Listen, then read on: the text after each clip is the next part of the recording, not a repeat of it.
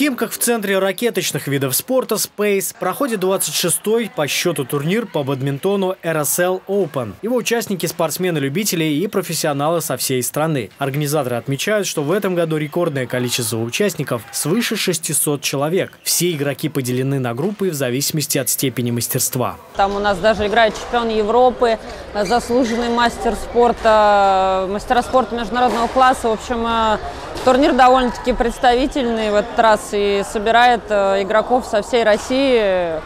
Будем надеяться, что дальше больше.